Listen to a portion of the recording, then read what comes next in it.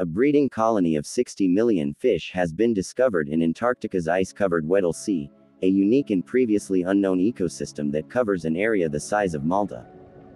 The fascinating find shows how little is known about the ocean depths. The vast colony, believed to be the world's largest, is home to the remarkable icefish, Neopagetopsis ionah, which has a see-through skull and transparent blood.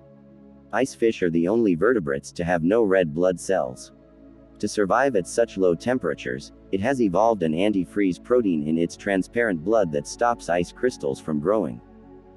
The breeding colony was discovered in February 2021 by the German polar research vessel Polarstern, which was surveying the seabed about half a kilometer below the ship.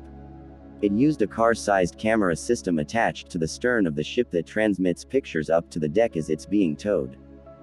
The expedition was focused on ocean currents and the discovery of the nests, made distinct from the muddy seabed by a circle of stones, was a surprise.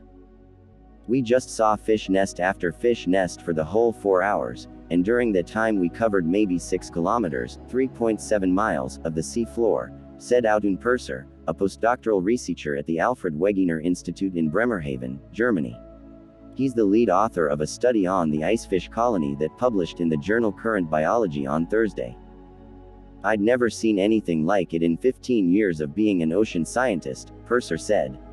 After that dive, we emailed the experts on shore who know about fish like this. They said, yep, this is pretty unique.